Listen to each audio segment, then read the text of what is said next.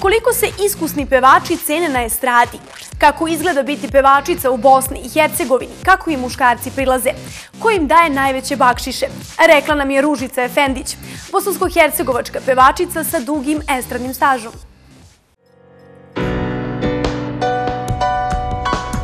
Znala sam da doće dan kad doći ćeš sa njom Mnoge pevačice pribegavaju estetskim zahvatima da bi išle u korak sa vremenom.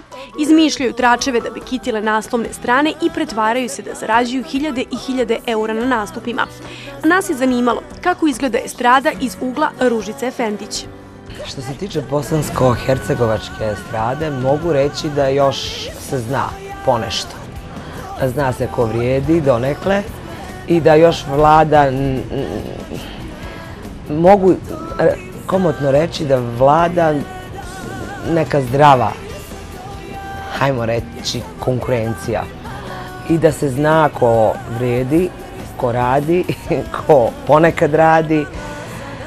A što se tiče ostale scene, znači i regiona, e tu je već, što bi rekli naši ljudi, katastrofa.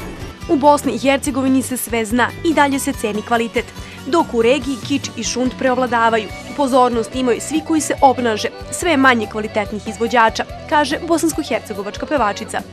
Ja ne mogu sad, nema onaj bip, bip, cenzure, ovaj, neki dan sam generalno moram da pratim što se dešava i upala jedan muzički kanal i poslušala tekst neke nove pesme i ostala sam zatečena jer je to bilo negdje oko pet popodne moj sin je tu bio prisutan i ja sam čula nešto tipa ne mogu sad da se izražavam.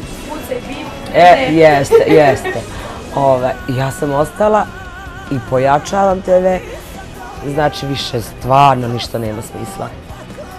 Apsolutno sam zgrožena tekstovima, golotinjom, i svime ostalim. I naravno, pozornost imaju 100%. Mnogi pevačice zarad publiciteta izmišljaju tračeve, ali ne i naša sagovornica. Njena karijera išle težim, ali kaže ispravnim putem. Čudno, zar ne?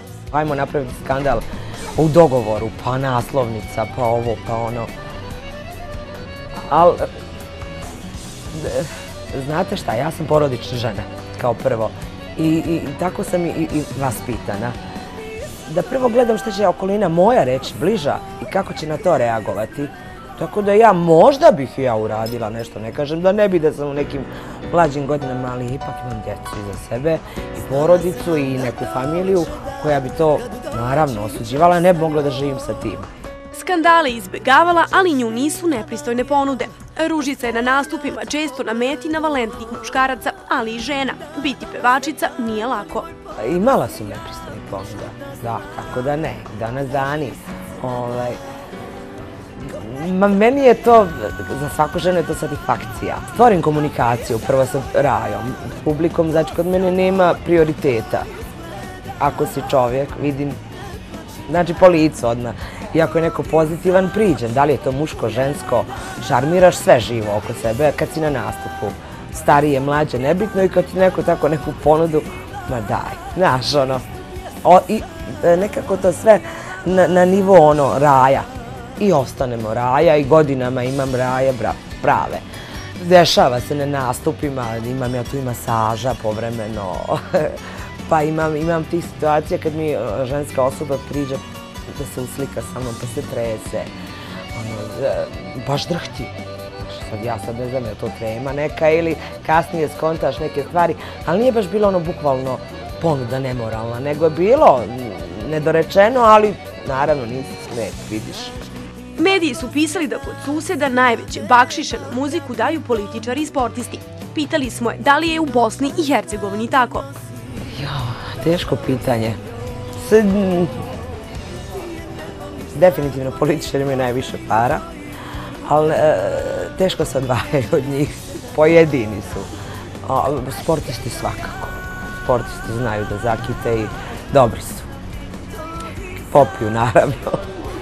Ima pozitivnih, ali i negativnih strana. Mnogi pevači se trude da do poslednjeg daha budu na estradi. A da li je njima lako, pored svih tih starleta? Pitanje je.